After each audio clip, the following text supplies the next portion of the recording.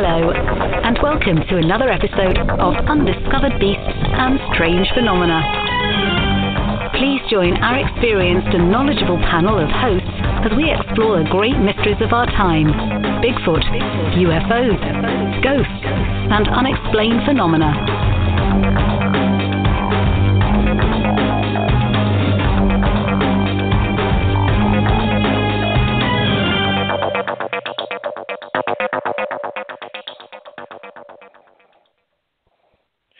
Hello, good evening, everyone, and welcome to our show. Tonight, Mike and I are joined by Jenny Thomas, uh, one of the Gettysburg Ghost Gals, a psychic medium, a ghost hunter extraordinaire. Welcome, Jenny, and thank you very much for joining us on our show tonight. Oh, thank you. Thank you so much for having me. Oh, it's our pleasure. We've got lots of questions we'd like to understand uh, your relationship with, with ghosts and what you do. One of the things that I was interested in is how uh, people decide they are psychic mediums. So um, it's my understanding that you knew you were different, for want of a better word, uh, when you were when you were young. What, what, what does that mean? I, I, it's kind of hard to explain. It's not like I woke up one day and said, "Hey, I'm psychic." It was just kind of a knowing that I had, and I had a lot of strange occurrences happen to me that didn't really happen to anybody else. But I think the biggest thing would be when I was seven, my great grandmother passed away, and she and I were very close. And she came to me for two weeks after her funeral, which I was not allowed to attend, uh, and had conversations with me. And what did she say? I mean, what happened the first time she appeared? You know, I honestly don't remember. My mother had told me that this happened when I was 18, and then when I hmm. asked her about it again when I was older, she denied it. I was basically put down by my family about being a psychic or a medium because at that time, and we're talking in the, the 70s and the 80s, it just wasn't like the popular thing. So I believe my mother did not want me to be ostracized. I mean, it was strange enough as it was. so I, I think adding psychic medium and being able to communicate with ghosts would be just kind of pushing the boundary for for my family. So she thought, yeah. So you, your family were, were were initially a little bit hostile. Are they still hostile now? I wouldn't say hostile. I would say denial. Uh, and and no, uh, my mother sadly passed away when oh I should say about almost it's going close to 15 years now. Uh, and I she knows it now. She believes me now because yeah, she's, sure she doesn't have any choice now, eh? yeah, yeah. Respectfully. Uh, have you seen her? My my yeah, my my father's good with it. My brother's good with it. My sister, she needs proof, and that's where it's a little difficult because I really don't know how to prove it to her because I know her so well. I I just can't say, oh well, this is going on and this is going on. It's hard to read your own family because you already know them. Does that make sense? Yeah, it does. Have, have you seen your mother? Has she visited you from the other side since she died? She spends most of her time hovering around my my father uh, because she doesn't like his girlfriend. but, oh no. Um, but I would I do want to say she, she's a very sweet woman. She's very lovely, and we all love her. Um, but she has been to see me. Uh, I, I've actually seen her a couple times, and then she'll just she comes to me a lot of my dreams, and there's just a lot of times I smell her perfume or I hear her voice. So she, so when, she finds her ways. So when you say hovering around, do you, do you mean? I mean, forgive me. Do you mean in a in a sort of literal sense? Does she like float over him? I, I don't mean this very respectfully. I'm really intrigued no. how this I have this vision. You see, what I don't want to happen to me, Jenny, is I don't want any. I don't want an ex-wife hovering over me or something like that. You know, I'd rather than just carry on. you know, you yeah. know what I'm saying? So how does it work? I, I I don't. Uh, I, I my mom is more of a glider. Yeah. She always fancied her, fancied herself. she always fancied herself to be very um elegant in in some ways. Okay. So she's not more of a floater. She she likes to hover and just glide, you know, like she's on ice skates. But what I mean is she's usually just around. She likes to just be around my dad be around her children and her grandchildren. I mean, how do you, how do you know she disapproves of his of his new uh, girlfriend? Does she like try and say that to you, or how does it work? No, um, it's a feeling that I have. Like I can feel how she feels um, when I'm around my father and uh again his very lovely girlfriend is around. It's all right don't worry. We're, we're, i'm sure she's nice. Don't, if she's listening what's her name? What's her name? Uh her name is, if she's listening cindy i love you. Yeah there you go cindy. We're fine. Nobody's nobody's hovering over you. cindy. Relax. Yeah um but they were married for forty years before she passed away and okay you know they they were totally in love with each other from you know the first day they started dating and i yeah. think she still looks at my dad as he's my husband yeah no i understand so mm-hmm. so when when but when we just going back because i'm very interested in in your formative experiences so you said you mm-hmm. had a, a an experience when you were you were seven but you, that was not reiterated to you when did you first become conscious and what's your earliest memory that you personally have that you can recount of, of having a psychic or supernatural experience? Oh, ever since I was a little girl, uh, I have something called night terrors. Um, a lot of people with sleeping issues have these, but the way I describe mine to my doctors are completely unusual. Uh, I will open my eyes and I will see figures. Um, or the light will burn out just as I'm opening up my eyes. I will see things coming towards me. So this has been going on ever since I can remember, since I was a toddler at least. So I, I think that was probably my first clue that I usually ended up running into my parents' room or my sister's room and, and climbing into bed to sleep. Um, and, and you know, when was the first time you actually actually saw a, spirit that you can remember? And and, and, and, and did you did you speak to it? I mean, have you spoken to these spirits, or did you just feel them? I I I can see them, and I do speak to them. When I was younger, uh, you know, and I would say there was a ghost in my room. My parents would say, "Well, there's no such thing as ghosts." So I learned to become very afraid of these things, and so consequently, when I would see something when I was younger, I would be terrified, and I, I think I spent the majority of my childhood sleeping in my parents' bed, just Did so I could feel wow. safe. Yeah. When, when, when you when you see them, yeah. I mean, and forgive my ignorance. I'm I'm, I'm asking because I I I've never seen a ghost, so I'm asking from um, a point of curiosity. Do okay. they appear? Do, do they appear like white, uh, spectral, or do they appear solid? You know, like like like a, a person would be with clothing on and things like that. I don't, you know, obviously it's not real clothing, uh, but you don't want to see too many naked ghosts. You know what I'm saying? well, it, it just depends on the person. I think if you want to see a naked ghost or not. I, I think I know plenty of people who would love to see a naked ghost. um, well, that's a specialty market we're not going to corner on this show, Jenny. Yeah.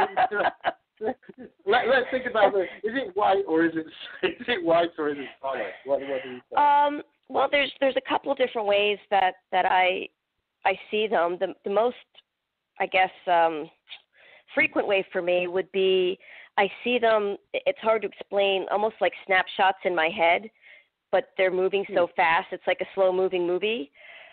And then I see them as they want me to see them in whatever form they want. And it, it's, right. it's the same.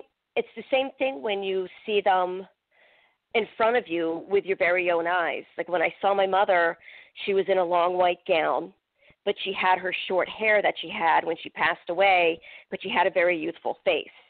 And I saw her like that twice. Uh, again, you know, because she has to glide, she was, you know, just gliding around. Um, when I see things out on investigations. I usually see them in inside my head, um, and it's sometimes a very rapid thing. When I'm doing readings, it's very easier. I should say very easier. My my grammar is bad. I'm sorry. It's easier for me to, to get a lockdown because those are the people who want to be seen. The the ones so, I think that don't I'm sorry. Go ahead. Yeah, I'm going to put a question to you because it, it's it's popped Sure. into my mind, and I think it's important that um, Mhm. you answer this. Because if I'm skeptical about this, uh, I'm not saying Mhm. I am. I'm, I'm intrigued. But if if I'm skeptical, the obvious question is, well, you know, voices in your head could be anything. I know you're not, but you know, people might say, well, it's it's it's imagination or schizophrenia, or or, or you know, um, she wants these things to appear, so she conjures them up in her own mind and she's delusional. There's all those accusations I could put at you. I mean, what would you say about that? How do you know it's a ghost? How do you know it's a spirit? Well, again, I have to go by what people tell me. I I just don't walk. I, I'm not someone who walks around saying, "Oh, here's a dead person. Here's a dead person." I I purposely do not make my life all about the paranormal. So Hmm. I tend to stay quiet until somebody asks me a question, and then I say, "Don't tell me anything else." And I tell them what I see, and I describe the voices, and I, you know, maybe nicknames or things like that, and then judging on the feedback from the the person I'm speaking with, then I know if I've if I've got it right or not.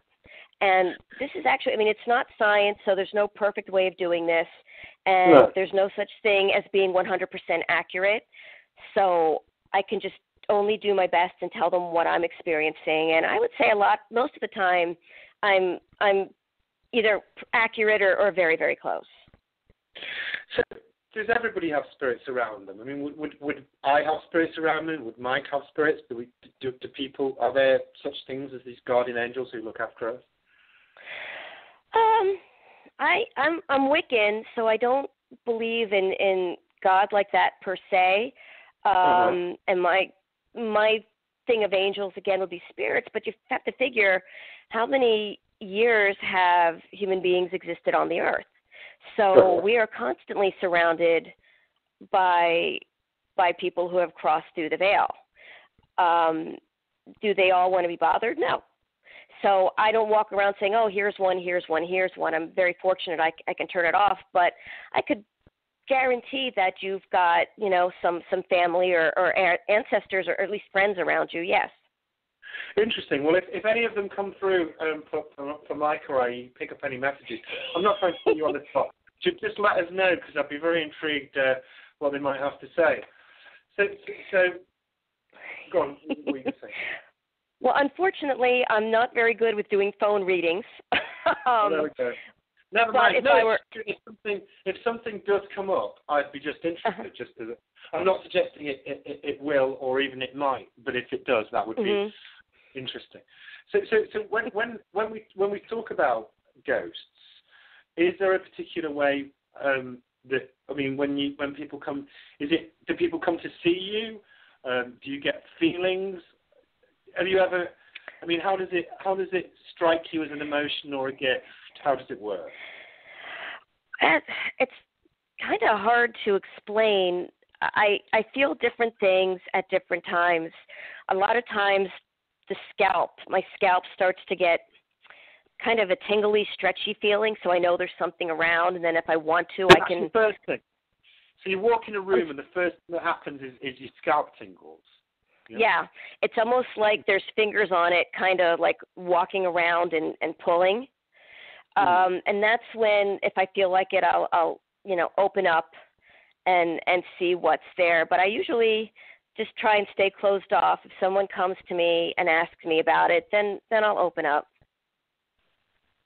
So, so will people? Do you ever get messages? Have you ever had um, examples of messages to um, from people, or that you know you've been in a room and you thought, "Oh, I must tell somebody this." I I guess I'm trying to figure out what you mean, like messages for people who are with me at the moment, or Yeah. Message- Yeah. So Oh. you're in a you're in a room, and suddenly you get a message, and it's for somebody in that room, and you feel like you have to tell them. Have you got Have you had any any examples of where you thought, oh, I need to pass this message on, or do you have to sit there and actually focus in in them? I'm wondering, I'm wondering about the nature of, of the abilities you possess. well, it's i- have you heard you've heard of gut feeling, correct? Yeah. Yeah. I have. Okay. So it's it's kind of like a compulsion. If I feel the compulsion to say something to somebody, I will. If whether or not you know, if someone's speaking to me from the other side, I have to have that compulsion to say something. Because if I don't feel that way, I'm going to talk to the wrong person or get the message wrong and I'm going to look like an idiot. So Hmm. I, I kind of wait wait until I get that overwhelming desire to speak to somebody about it. Otherwise, I, I just stay quiet. Right, so you have to have an overwhelm. And how does that ma- overwhelming desire manifest itself? Do you feel physically like you need to do it, or do you just think, oh, you know, something inside you is telling you that you should tell them? I get anxious. Uh, so the Oh. more anxious I get, and the more drawn I get towards a person, I, I know I have to say something. I mean, I'm already a very hyperactive person, so Uh-huh. I try not to let anxiety get the best of me, or I would be bouncing off the walls 24/7. So I, I just go by what my body's telling me. Now, that's cool. Now, you mentioned that you were a Wiccan, and I was interested in that because I Mm-hmm. don't know an awful lot about that. So, so I- I'm going to try and learn a little bit now. So, so Do, do you Uh, need me to put a curse on someone for you? no, no, no, because Wiccans don't do that, though, do they? I- I'm told that Wiccans don't do white magic. Is that right? No. That was enough. okay. Um, Um, there's really, in my mind, there's no such thing as black or white magic. It's um, Okay. the person. You know, either the person has light or the person is just a, a vast black hole sucking in all the good energy around. So you could use the same spell to do something nice for somebody, or you could use it to do something terrible. So it's it's all in the intention and what you want to do. So, so let me let me understand a little bit. I mean, when when I Mhm. when I think of a Wiccan, so you, Mhm. obviously my my um, my background and history is based in Judo-Christianic theology, in the same way as Mhm. Mike's would be. Now, what do Wiccans believe happens to you when you die? Um, it, it's. I- I mean, I think everybody is kind of different. My thought is, you know, your body goes back and becomes one with nature because Wicca is about nature, and and the moon and the sun and the elements. So your your body just kind of becomes one with nature, and and then your soul is free to do what it wants to do. So some of us come back, and some of us just stay free and and travel the stratosphere. Is is there an element of, of punishment or reward, if you know what I mean, in in in Wiccan uh, belief? So You're- what, you're- what do, I mean, do bad people go to hell? Good people go to a kind of heaven? How, how does it how does it work? Well, I mean, I'm not. I I I don't believe in hell. I believe your hell is what you make it here on earth. Uh, it's it's how you want to live your life. So your rewards and punishment come while you're living. Uh, if you are an awful nasty person in life and you can't find a way to fix it, you're probably going to be awful and nasty in death. Um, if you're a good person in life, then you know the good things will come to you. It's it's kind of like karma and the Uh-huh. good things will come to you and and you know you cast out that good energy and the good energy comes back to you so when you do finally go then you're still that good energy floating around I see. So do you believe, do you believe in reincarnation as well? Uh, I, mean, I do. You, you i So- i so do how, i how, how would that work, Jenny? How does it work? You know um i don't know a whole lot about reincarnation. I only know what i feel. And i've had so many people tell me the most amazing stories that i've i've come to believe it. So it's again if you deserve to come back you you get the opportunity to come back if you choose to. And some people I mean, I've I've known people who've been around so many times that they started off in ancient Egypt. Uh, some people are brand new to this earth. Some people have only been around once or twice. So it's it's whether or not you deserve it and whether or not you choose to. That that's what I believe. So when when someone passes away, because I mean I'm intrigued by this as you might as you might have guessed. Uh, Mhm. When when when someone passes away, at that moment they they they they're dead. So what do they do? Do they make a choice about whether they want to float up and, and go somewhere else or being reincarnated? I mean, what what's the process and, and who might guide them to make that decision, in your view? Well, again, I, I, I don't know a whole lot about reincarnation, um, but from people I've spoken to about it, they can vividly remember after they have left their body, there's a door. And they have the choice to go through that door or not. I mean, they vividly remember there's a door. Uh, I have no recollection of a door, although I have recollections of things from previous lives that I, I should not, in this life, you know, if there was no reincarnation, how do I know this stuff? Um, mm-hmm. So I, I don't know what great power makes that decision, but there, there's something out there that's deciding, well, you get the chance or you don't get the chance. Yeah, I mean, one of the things I thought about with reincarnation, and I, and I was interested in exploring it. I'm not dismissive of it. Uh, I mm-hmm. understand it's a part of, of many religions like Buddhism and Hinduism and, and, and other things. So, mm-hmm. so one of the things I wondered, and I don't expect you to have an answer to this. I'm just interested if you do, though, with, from a Wiccan perspective. So it, it's really this: why, if we are reincarnated, are we not given the ability to remember our past lives? I know there are examples of children who've come out with these things, but generally speaking, why don't we remember them? What do you think about that? Well, you're in a new life, so if you are remembering a bunch of your old life, maybe that would affect it. I, you know, your new life. I'm, I'm not really sure, but again, a lot of these people I know, they do remember past lives um, one man who's a friend of mine, he's always a soldier. In every single life, he's a soldier dating back to ancient Roman times. And he remembers, he has memories of every single life as being a soldier. And he was a soldier in this life.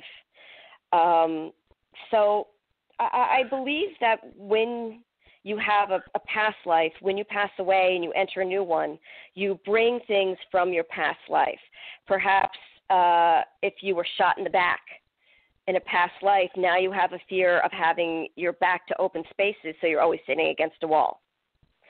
Uh, I think I may have been hung in a past life, and I actually have a fear of things being around my neck. I, I never yeah. wear anything tight around my neck, not even a scarf. So there's things I think you bring. I mean, because it's an irrational fear. Well, where does it come from? Mm. I mean, it's not like not like a fear of spiders.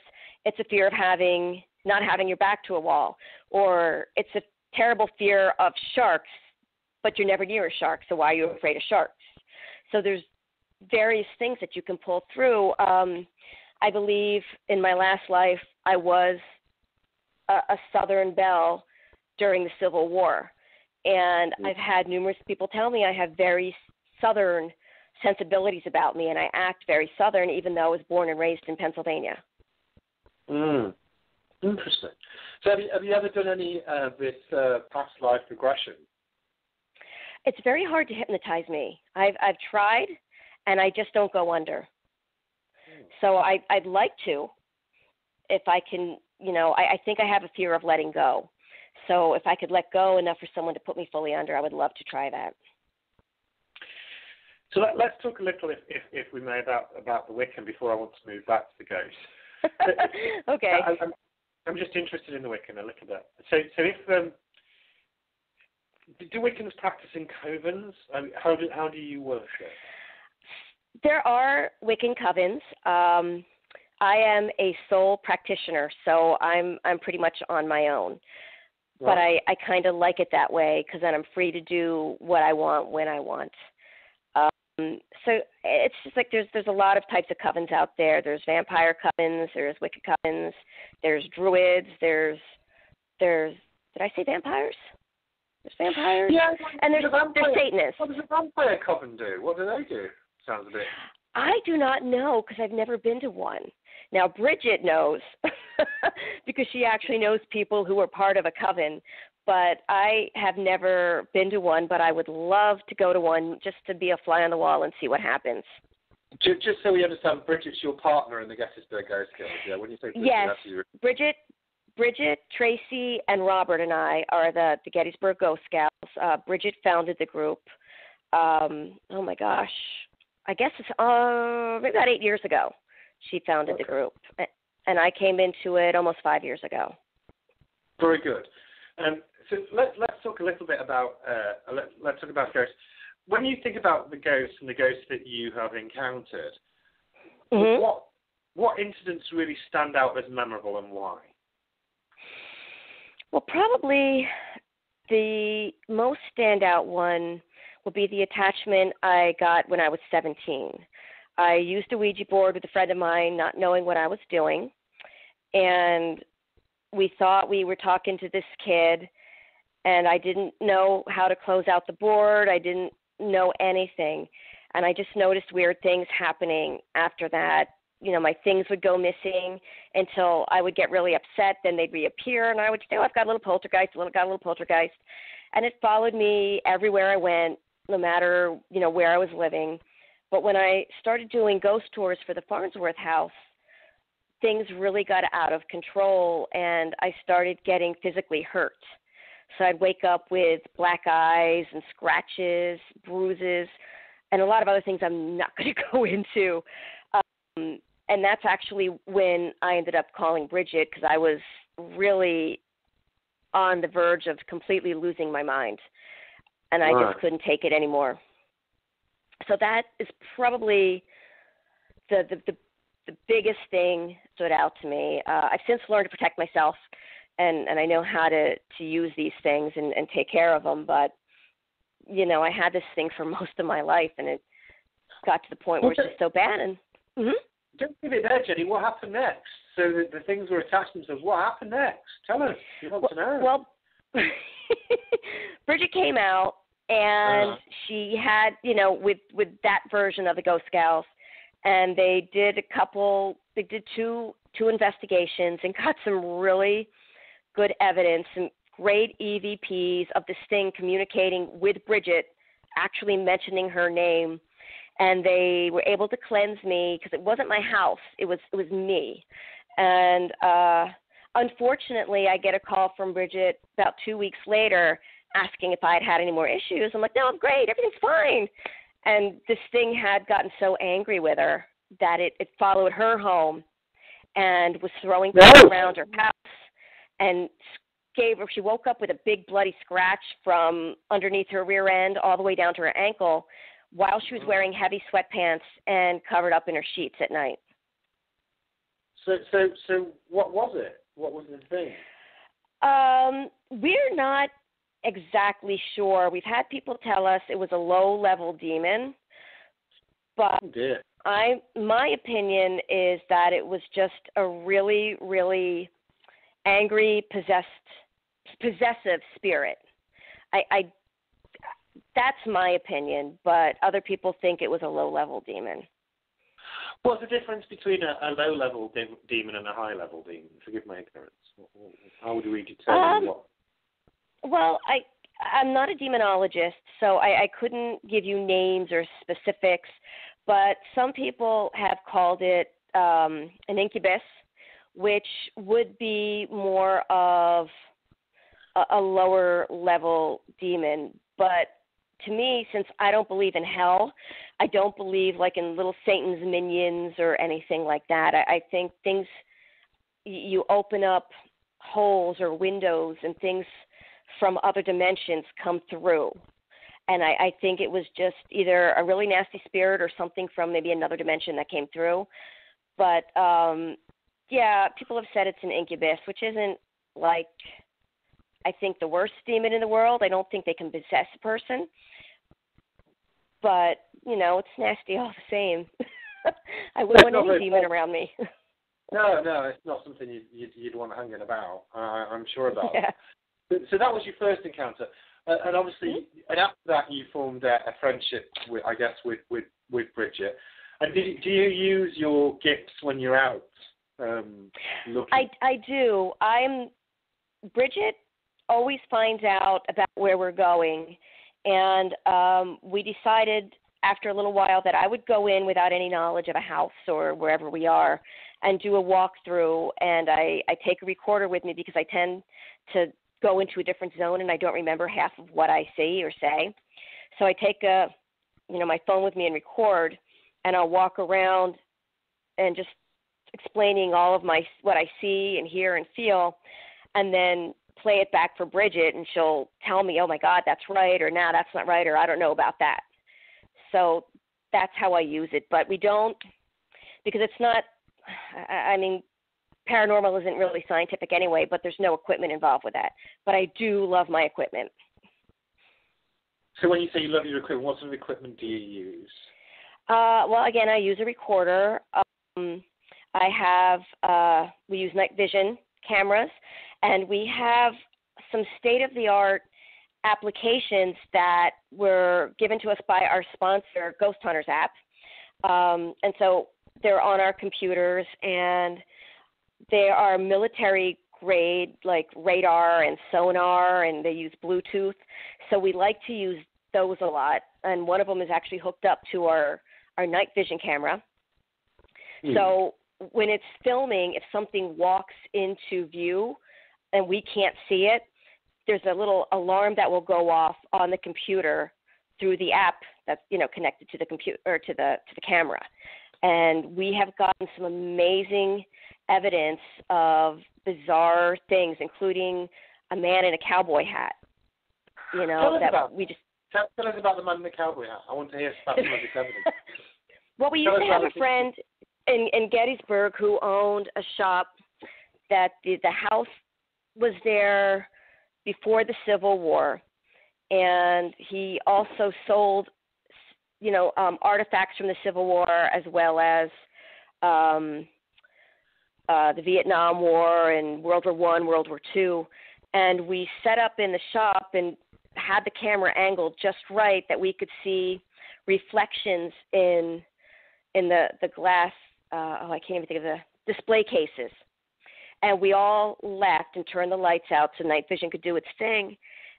And we went back later to check on it, and Bridget's reviewing the film, and the reflection of the glass from the display cases were bouncing off each other, and we could see that there was definitely a figure that looked like a man in a cowboy hat or maybe a general's hat from the Civil War, like walking on the, the side next to one of the display cases, but it was reflected off another display case.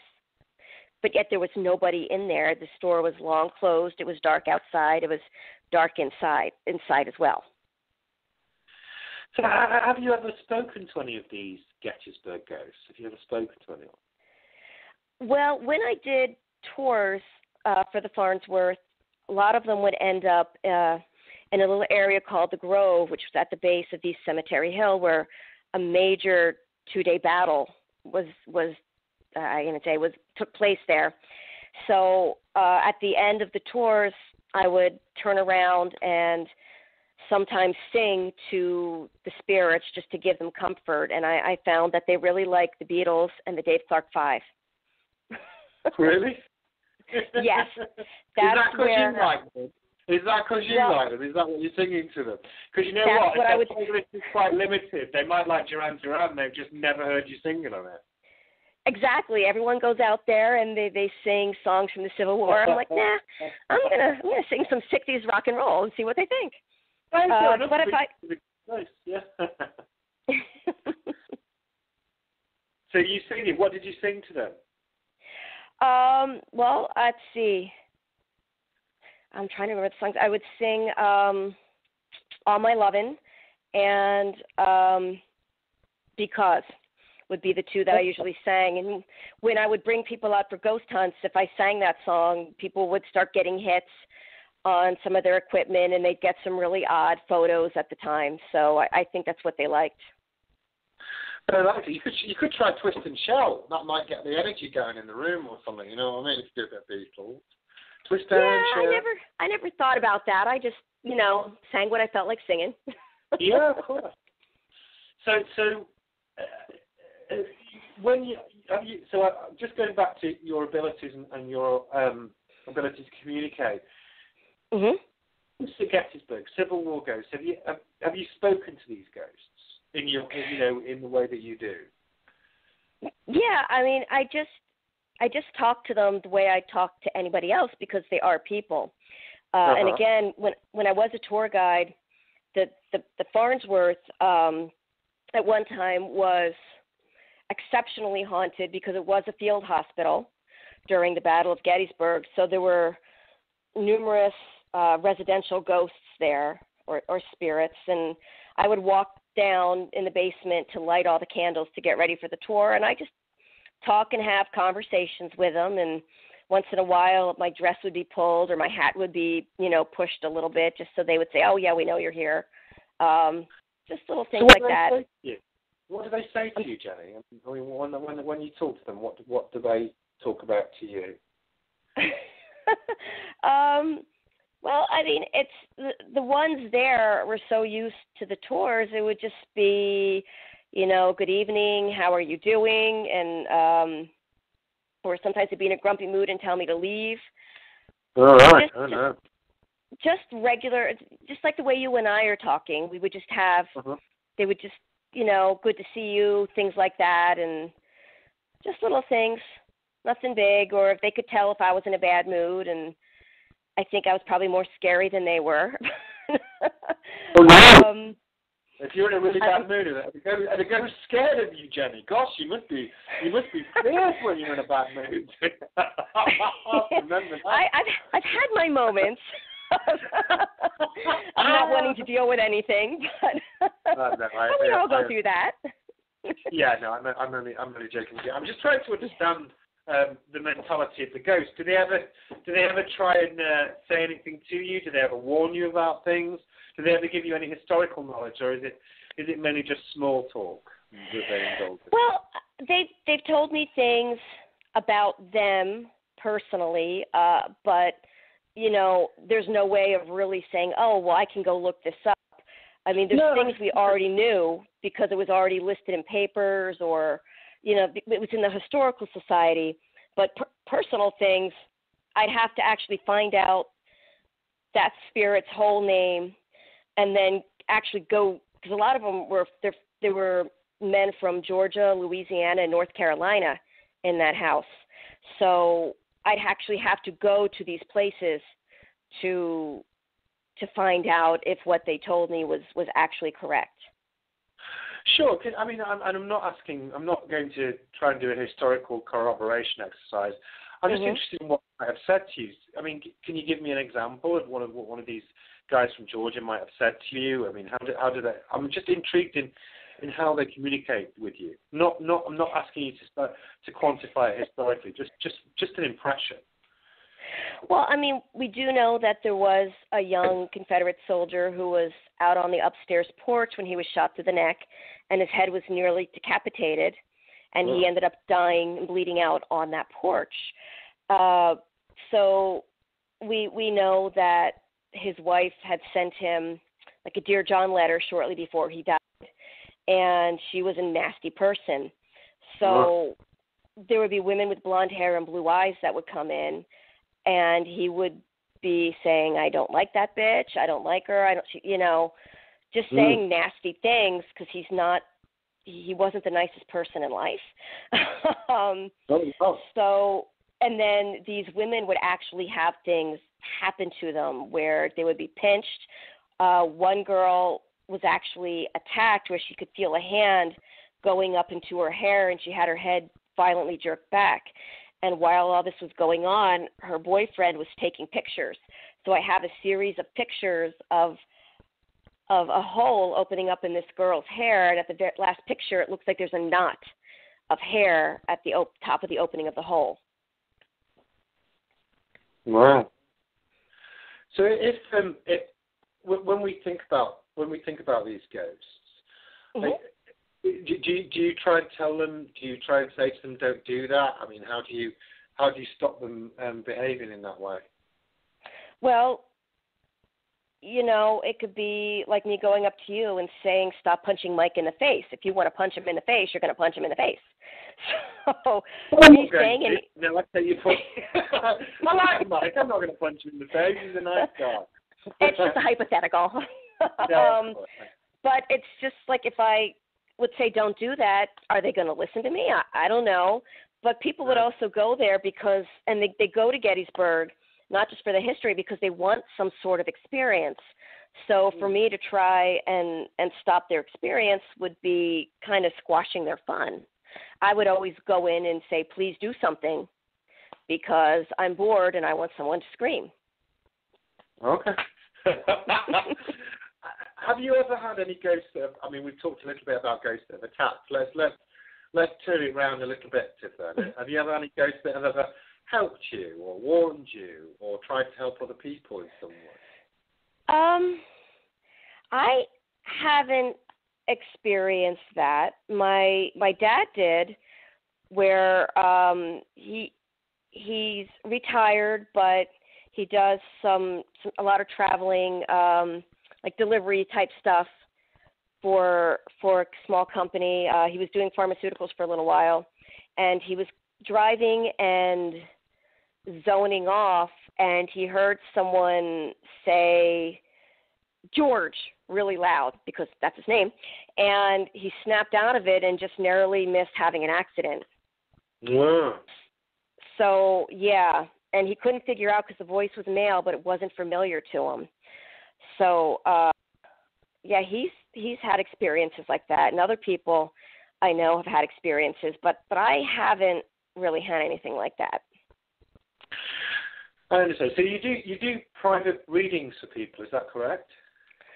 Um, if someone asks me to to read them because I, I can read auras very well, um, I will, but I never charge. Okay, that's that's very. I mean, so so if someone sits down, so it's a, it's a favour you do for people if they want to. You don't make money off it. Is that, that, is that what you're saying? Right. I I and I don't I don't condemn anyone who does because you know everybody needs to make a living. I Yeah, just yeah. personally feel it's not for me to do that. Um, and I've been doing it charging for so long that I would just feel really off about it if I started charging all of a sudden. I understand. So I'm just trying to to, to in a nice way get inside your head. So you Mhm. sit down. You sit down with and there's a person physically sat opposite you. Uh, When how do you know that a message is coming through from those from somebody connected with them? Do you see things in your head? Do you hear things? How does how does the process work?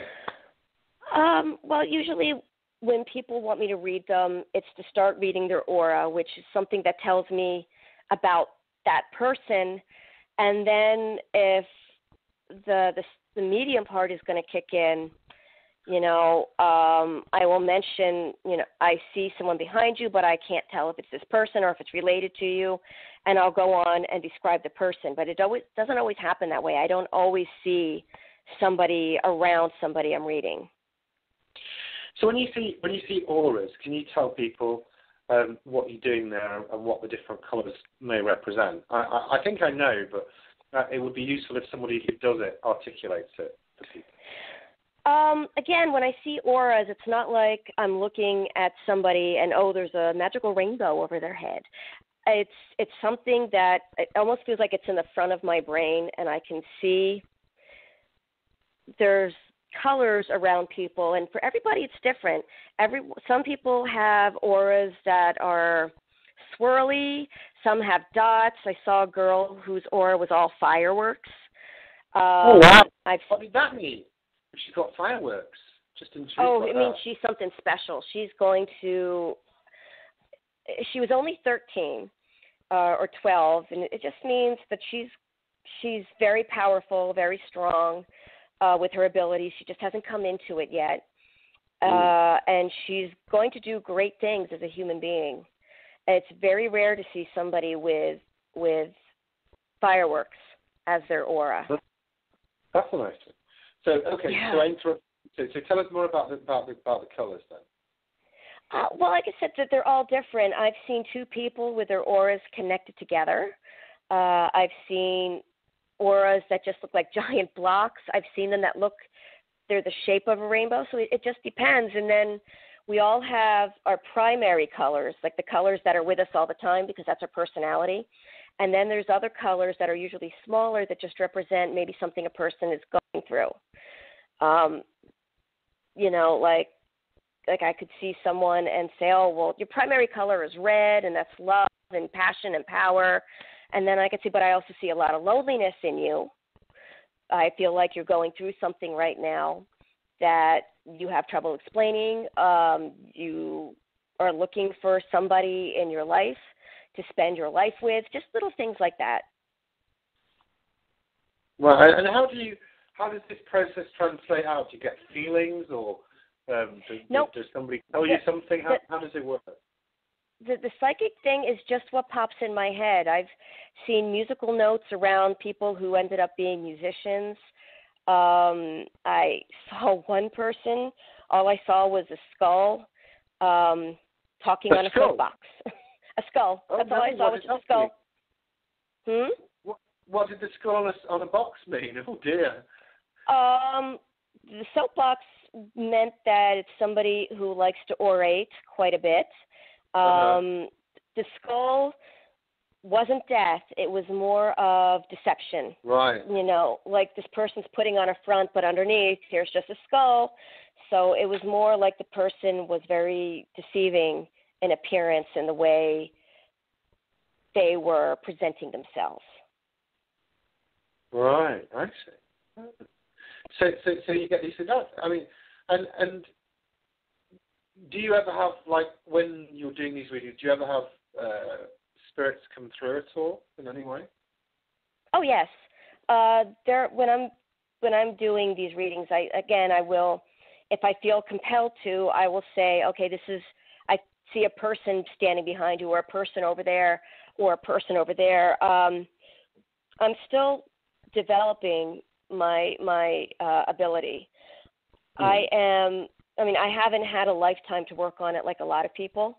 I only Hmm. started doing this uh, maybe about six years ago, seven years ago. So Right. I'm still trying to. I'm still trying to get to where I need to be. So it's very difficult for me to pinpoint who goes where. So I could be in a full house and see someone who could belong to anybody. I don't know, but I'm not about to go around saying, "Is this person with you? Is this person with you?" Oh. So why did um, why did you start doing it six seven years ago? What was the pivotal moment that made you want to do it then?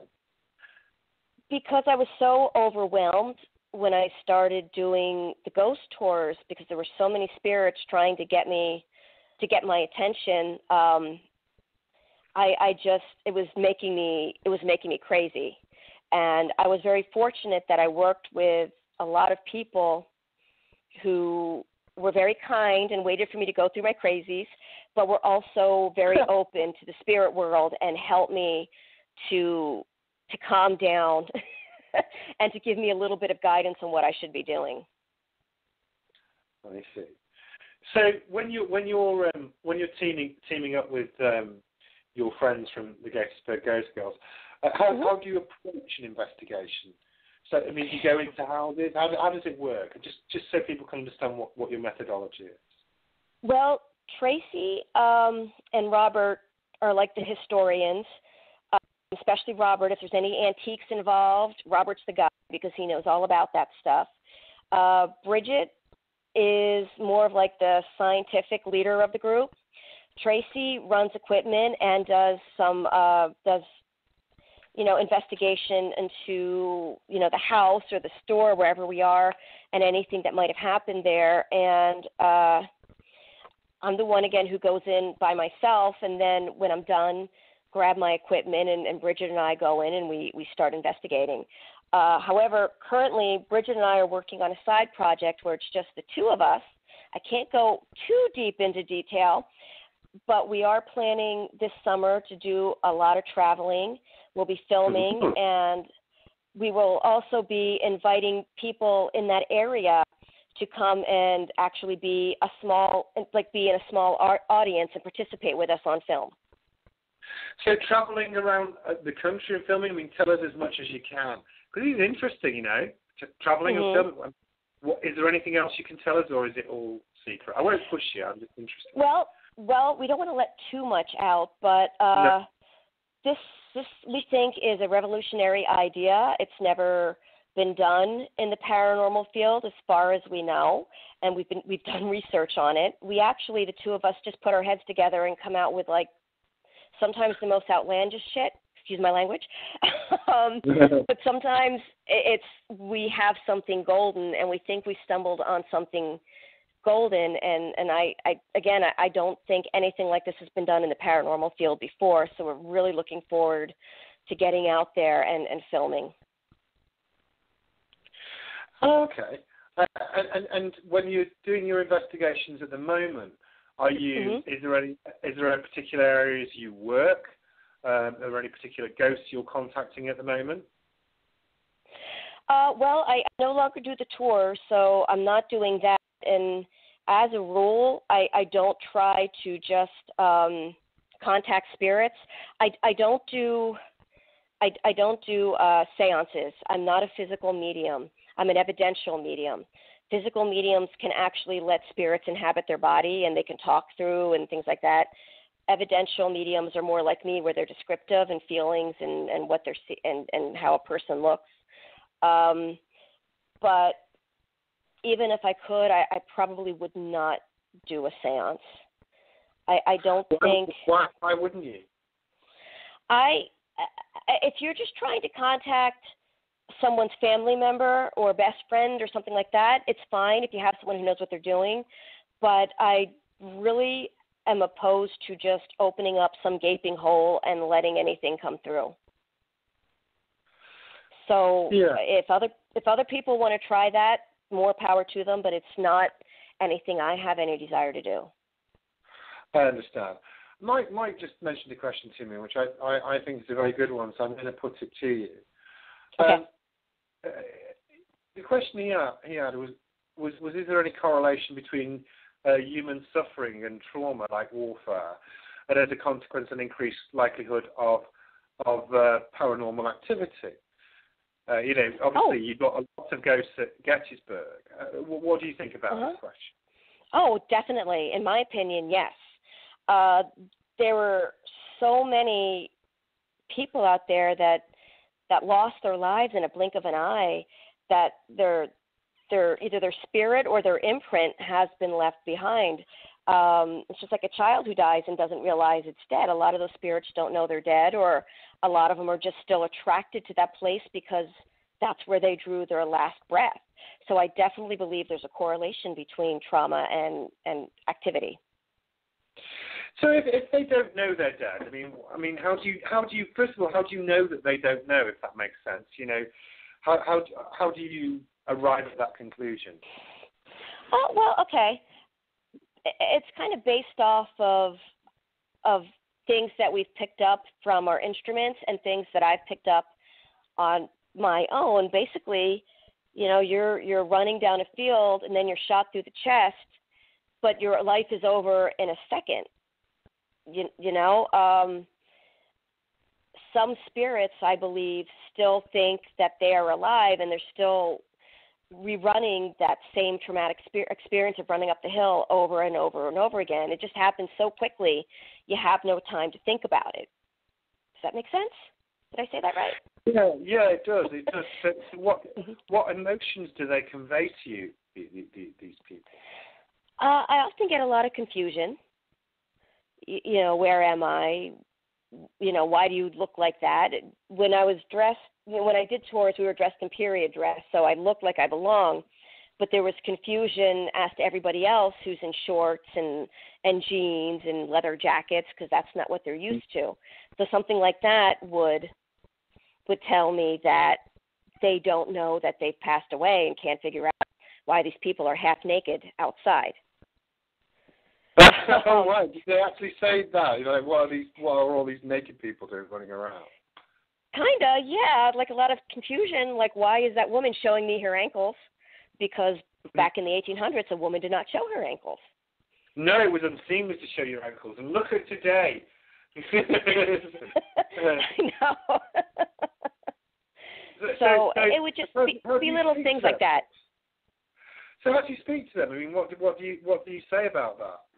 I mean, how do you, how do you, um, how do you speak? Well, if I'm doing a tour, I ignore them because I'm I'm was doing a tour, uh, I sometimes explain to them that that they have gone on and try to pass them, uh, or sometimes I don't say anything. Again, it's just compulsion. And again, I don't want to be surrounded by a lot of people and then have me just start speaking to nobody because then people look at me like I'm a wackadoodle. so, so when you speak to them, do you actually have to have to physically speak back to them, or do, do you? I mean, forgive me because we've never actually met, so I don't want to. Uh, this sound an obtuse question, but do you speak to them in your head? I mean, do you, do you speak out loud? I mean, how do you communicate back it, to them? Again, it depends on what I'm feeling. I think if I'm completely open, then I don't have to be. I don't have to be um, verbal about it. But again, if if the spirit doesn't realize that he or she has passed on, or again I'm feeling cranky and I don't feel like dealing with it, then I, I will speak out loud.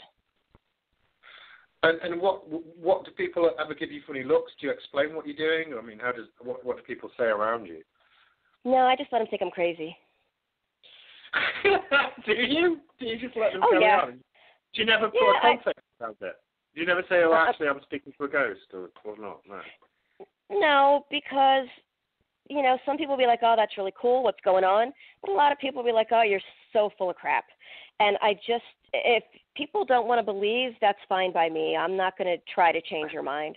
But I just don't feel like dealing with people's lip about it, you know, or their their attitudes. So I'm just like, just think I'm crazy. I don't care. Yeah, okay, I, I, I understand. Now, one of the questions I had I had for you that I was I was I was really interested in was you said mm-hmm. you know earlier on that you were um, developing your your gift, for want of a better word. Mm-hmm. Um, to what end? What do you want to do with your gift? Have you any ambition um, in in this way? And I don't mean I don't mean about fame and glory. I, I can tell that's not right. your motivation. I I I mean, I only know I only know that I am here to help people, both living and dead. I, I don't know what my destiny is yet. Um, that will be revealed to me eventually. I, I just have to make myself meditate some more and be more grounded than I am. But I, I just know that I'm here to to to help, you know, on a one-on-one basis. So I want to get, I guess, strong enough that I can see more clearly and that I can communicate that better with the living people I'm talking I'm speaking with. I see. So so so it's going to be revealed to you. Uh, you mm-hmm. Eventually. Hopefully. Eventually. Okay, so um, we haven't got a lot of time. So so um, what what's coming up next for you? You mentioned this. Uh, you mentioned this tour uh, you're going to do. Uh, what are the things that you, you're planning on doing in, in the near future? Well, right now, Bridget and I are just focused on doing, you know, getting ourselves situated for the summer and getting out there. And uh, we're going to probably start off in the uh, New England area and work our way down and try and eventually work our way out, you know, Midwest to the West Coast. We just have to see how everything goes. Um, but other than that, you know, uh, I still have my regular job that I'm doing, so I'm just focusing on that and, and living my, my everyday normal life. Very cool. So, so how long do you think you'll be away? And, and can you, when you say summer, can you give us a date yet, or is that too early? Uh, it's a little early, but I know as soon as we have our first, you know, date and place where we're going, everything all set up, we're going to make an announcement so that way people who um, are in the area can get in touch with us and say, yeah, I'd love to be a part of that. Because uh, again, we're going to involve a small audience for a part of it. Very cool. Well, we'll look forward. We'll look forward to uh, hearing from from you about that. I mean, please let us know when you can. And in the meantime, mm-hmm. Jenny, uh, Mike and I would just like to thank you uh, for being an excellent guest. Uh, both of us, oh. I, have very much enjoyed having you on the show. Thank you ever so much, Jenny. Oh, well, thank you for having me. It was great fun. Thank you, Jenny. Thank you very much. And that, ladies and gentlemen, was Jenny Thomas, uh, a lead investigator of the Gettysburg Ghost Gals. I, I very much enjoyed talking to you, uh, Jenny, and so did Mike. We'll be back very soon. Thank you very much. Good night.